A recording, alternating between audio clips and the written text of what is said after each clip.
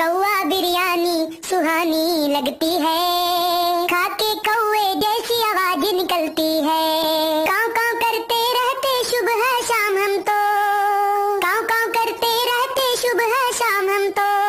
हमें कौआ बोल बोल के सब चिढ़ाते हैं। कौआ बिरयानी सुहानी लगती है। खाके कौए जैसी आवाज़ निकलती है। मुर्गे और बकरे तो सब खाते रहते हैं। कौए कोई नहीं खाते, बस ये उड़ते रहते हैं। मुर्गे और बकरे तो सब खाते रहते हैं। कौए कोई नहीं खाते, बस ये उड़ते रहते हैं। कौए खा के हम भी उड़ते रहते हैं। घर में रोज कौए चुड़ते रहते हैं। हो कौआ बिरयानी सुहानी लगती है।